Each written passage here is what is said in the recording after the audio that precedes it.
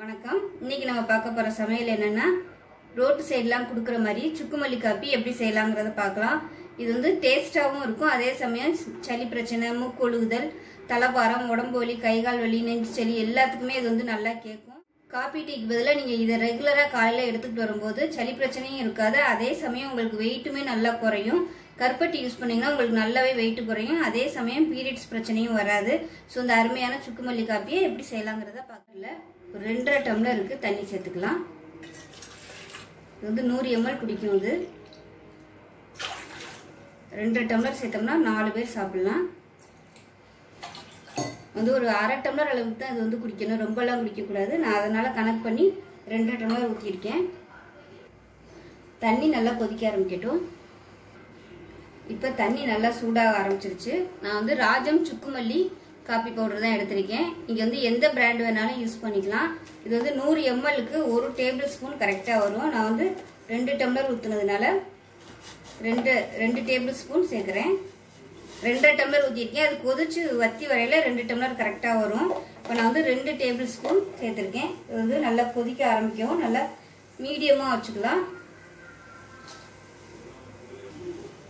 பொடி சேர்த்துட்டு நல்லா கொதிக்க ஆரம்பிக்குது. இதுலேயே வந்து பனங்கற்கண்டு வந்து சேர்த்துருப்பாங்க. உங்களுக்கு அந்த ஸ்வீட்னஸ் வந்து பத்தலை அப்படின்னா நீங்கள் சக்கரை சேர்த்துக்கலாம். சக்கரை இல்லை கருப்பட்டி கூட சேர்க்கலாம். நல்லா இருக்கும். உடம்புக்கு ரொம்ப நல்லது. நான் வந்து கொஞ்சம் இனிப்பு கொஞ்சம் அதிகமாக இருந்தால் தான் பிடிக்கும். ஸோ அதனால நான் வந்து ஒரு டேபிள் ஸ்பூன் வந்து நாட்டு சக்கரை சேர்த்துக்கிறேன்.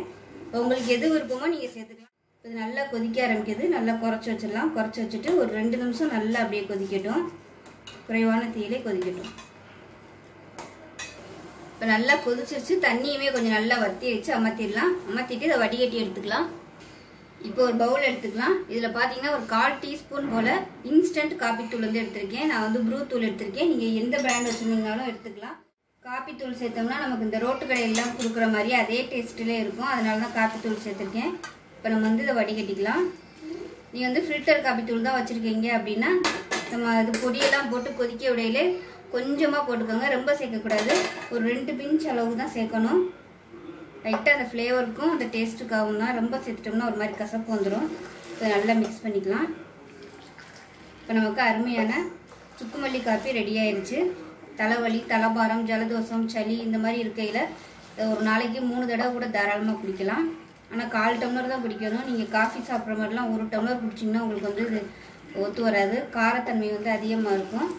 அதனால் சூடாக எடுத்துக்கணும். சூடாக எடுத்துக்கிட்டு காட்டம்ளர் சூடாக நல்லா குடித்தோம்னா சூப்பராக இருக்கும். நல்லா உடம்பு வலி கை கால் வலி எல்லாத்துக்குமே நல்லா இருக்கும். இப்போ பாருங்கள் நாலு பேர் சாப்பிட்ற அளவுக்கு ஒரு கால் டம்ளர் அளவுக்கு கரெக்டாக இருக்குது நான் எடுத்த அளவு. ஸோ இதே அளவுகளோட செஞ்சு பாருங்கள் எந்த கஷாயம் சாப்பிட்டாலும் கொஞ்சம் நல்ல வெது வெதுப்பான சூட்டுலேயே சாப்பிடுங்க அதுதான் நல்லது. ஸோ இதே மாதிரியே இதே அளவுகளோட செஞ்சு பாருங்கள் செஞ்சு பார்த்துட்டு எப்படி வந்துச்சுங்கிறத சொல்லுங்கள் வீடியோ பிடிச்சிச்சின்னா லைக் பண்ணுங்கள் கமெண்ட் பண்ணுங்கள் சேனலை சப்ஸ்கிரைப் பண்ணுங்கள் பக்கத்தில் உள்ள பெல் பட்டனையும் ப்ரெஸ் பண்ணுங்கள் நன்றி.